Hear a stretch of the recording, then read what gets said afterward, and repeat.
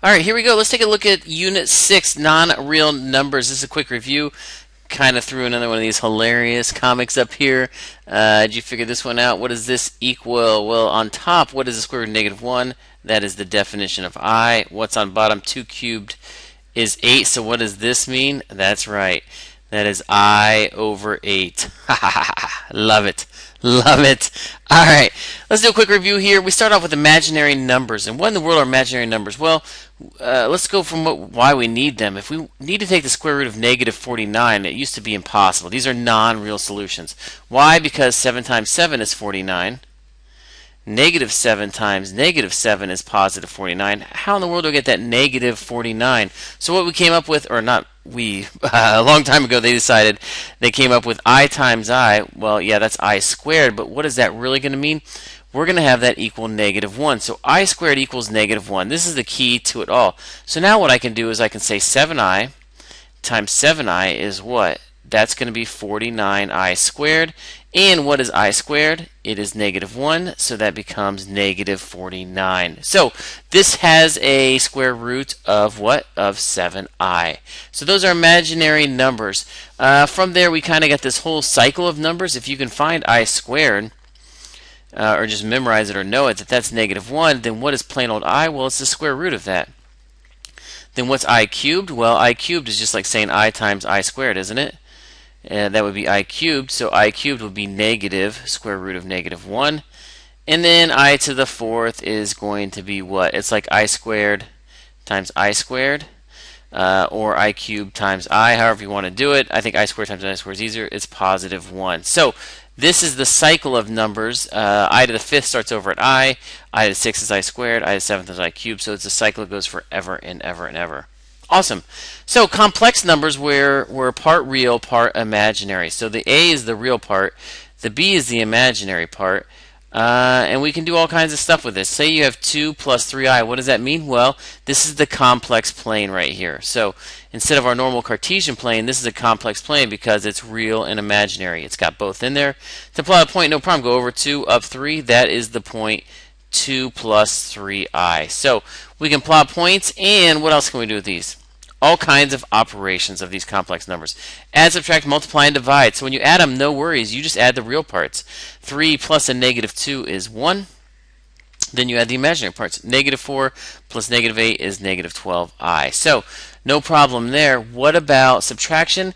Just be careful when you subtract. I kind of rewrite it because you're subtracting all of this. So it's really like saying minus 6 plus 8i. And again, once you do that, you're golden. You just go ahead and say, oh yeah, my real parts are negative 3. My imaginary parts are 12. Boom, there it is. Love it. How about multiply? So this is that idea of double distribute, or some people call it FOIL. So we can do this no problem. 2 times 4 is 8. 2 times five, negative 5i is negative 10i. Then we've got negative 3i times 4 is negative 12i. Negative 3 times a negative 5 is plus 15i. i times i is i squared.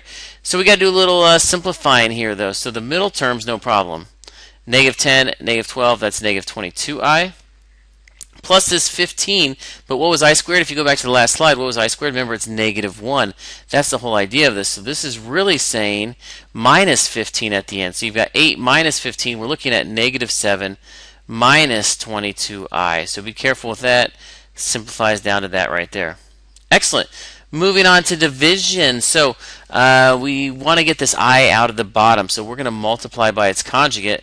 That's just a fancy way of saying change that middle sign. It's the exact same thing, change the middle sign. So we're going to use a difference of squares for this. Awesome. So I'm multiplying by 1, nothing changes. So what does this equal? Well, uh, if I do the FOIL on, you know, if I FOIL at the bottom, it's going to be 2 times 2 2 times 5. So I'm going to look at 4 minus 10i. Then I'm going to say 5 times 2 plus 10i. That's the whole goal is those cancel. And then I end up with minus 25i squared out here. Awesome. On top, put those in parentheses and do another FOIL. 7 times 2 is 14. 7 times negative 5 is negative 35i. Then we got negative 2 times positive 2 is negative 4i. And negative 2 minus or I'm sorry, times a negative 5 is that i squared. So it looks crazy. We got a lot going on over there, but no worries. Uh, let's combine this down a little bit. So I'm going to I'm going to come down here and say 14. The middle turns into what? Negative 39i on top. Plus, remember what's happening here? This is 10 i squared. This is that negative 1. On bottom, my middle terms cancel. That was the whole point of doing this. And then I've still got 4 minus, and again, what's that i squared? It's negative 1. So hopefully here, this is really a negative 10 and a positive 14. So I'm looking at what? That's just 4 minus 39i. And then on bottom, that's a negative, and a negative is a positive, so that's 29i. There we go right there. Final answer, i's out of the bottom. That's a simplified form. Uh, if you want to break that into two different fractions, you can. You can say 4 over 29 minus 39i over 29. Awesome. So that would be like the standard form of it, a plus bi. Super. Moving on. I know I'm going quick, but hopefully it's a review, so hopefully you're okay with this. Uh, then we start solving these quadratics. Remember, this is the standard form of a quadratic. Quadratic just means it has the highest power of 2. Uh, so when I solve this, what do I do? Well, you got to get that uh, by itself. So, we're going to solve first by square roots. And really, that's just when you only have like an x squared term. That's when you kind of use this solving by square roots. So that's it squared. And that's negative 16. And then when I get this square by itself, what do I do? I do the opposite. So I square root it. So this is 2x plus 3 equals the square root of negative 16. So the first thing, when you introduce the square root, now it's plus or minus. If it's already there, it's just plus, but you introduce it, so it's plus or minus. What's the square root of 16? Well, it's what? In this case, 4i. Why? Because the 4i times 4i is 16i squared, so I'm good to go there. Awesome. Once you have that, let's just wrap it up. I'm still solving for x, so I'm going to subtract 3 from both sides. So those cancel. So I've got 2x equals negative 3 plus or minus 4i. And what's the last step here? Divide everything by 2. So really x is going to equal, and I'm going to split this fraction, negative 3 halves plus or minus, what's 4 divided by 2? It's 2. It's that bad boy right there. Excellent. So there's a nice imaginary, two imaginary solutions. Remember that actually means negative 3 halves plus 2i negative 3 halves minus 2i. So I'm going to make sure you know that on the test uh, that it's two solutions. That's where it crosses uh, the x-axis. Awesome. How about completing the square? Little tips I have for completing the square was go ahead and move the constant over. You know, the the plain number has no variable, so get rid of it on. Uh, so you've just got letters. You know, your n squared and your n over here. That gives me 9 on the right. So now once I have that, now I'm going to complete this square. And what that means is I'm going to write something squared like this. So the rule is what? You just bring your n down and you cut b in half. Cut 6 in half is 3. So when I square this, when I, uh, you know, this is a perfect square. When I multiply it out, I'm going to say 3 times 3 is 9. So you've actually added 9 to both, or to this side of the equation. So to keep it equal, you got to add it to that side of the equation. So when I do that, I'm looking at 9 plus 9 is 18. Awesome. So we complete the square. Now it's just a matter of solving it. How do you solve this? No problem. Just square root both sides. So we're looking at n plus 3 equals the square root of 18. Remember, that's like saying the square root of 9 times the square root of 2. Uh, and, well, maybe I should wait on that. Should I wait? I should wait. Let's just go ahead and solve it. My bad. My bad.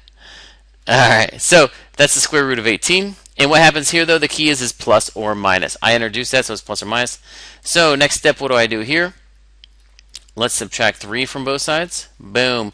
So I'm looking at n equals negative 3 plus or minus radical 18. Pretty good answer right there, but let's simplify it some more.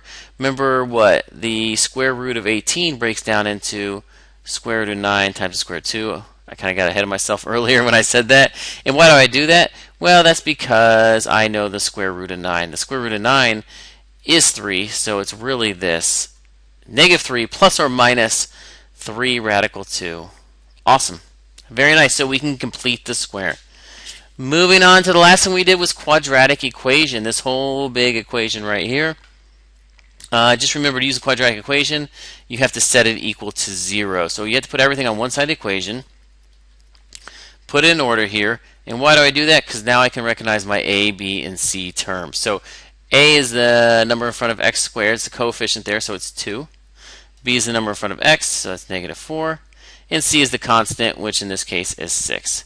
Awesome. Once you've got everything labeled, just plug and chug. We've got negative, uh, negative 4, so that becomes positive, plus or minus the square root of what?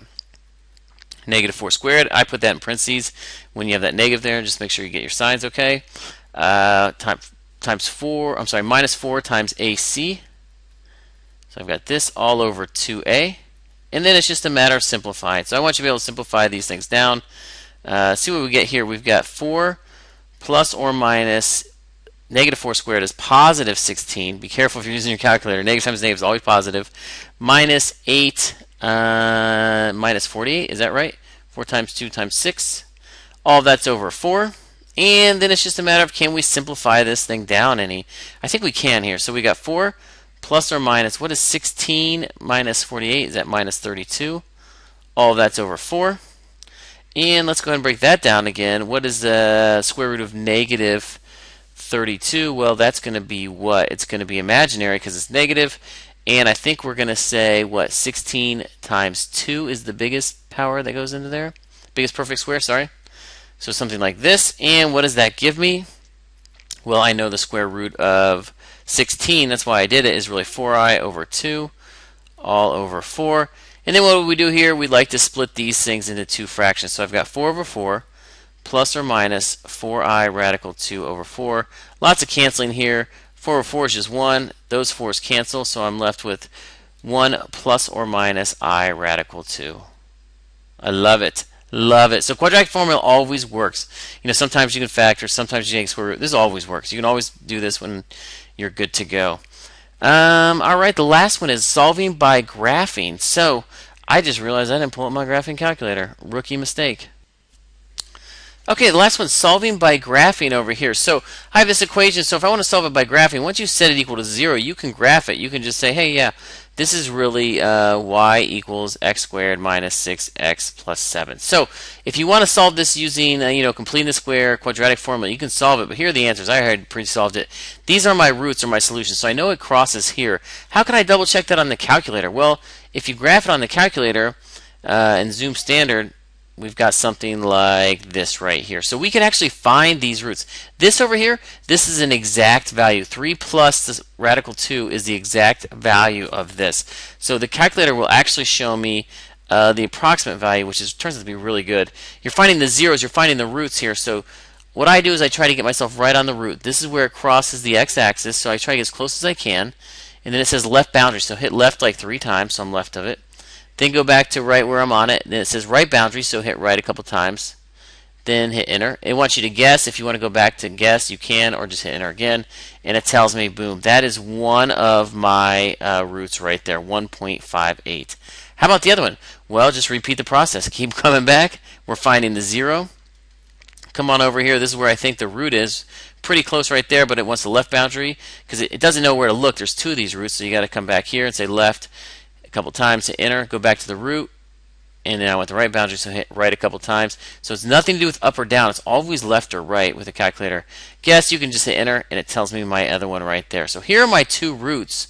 Boom, boom. So I said earlier that I, I found this, and I got 3 plus um, radical 2. So let me slide this out of the way here so we can see it. So here are the two roots right there uh, by graphing. Now I said that when I found it, it was actually 3 plus the square root of 2. Was I right? Let's check it out.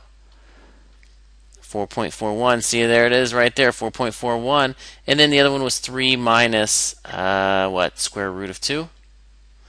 So if I put that in, aha, I was right. So the calculator is really good at going ahead and giving these decimal approximations. They can't give you this exact value because this is an irrational number, so you can't like math frac it or anything magical here. Uh, but it does help you, you know, find out, uh, you know, if you get the exact, make it a decimal, or you can double check it here. You know, now I know my roots are about 4.41, and the other one was 1.58. Uh, you can even use it to help you find the vertex, or you can just do the axis of symmetry, plug and chug. If you want to use a calculator to find the vertex, no problem. We're just looking for what? In this case, we're looking for the minimum point. So we're looking for number 3. And again, it's a left bound, right bound kind of things, because later on we'll have multiple minimums or maximums.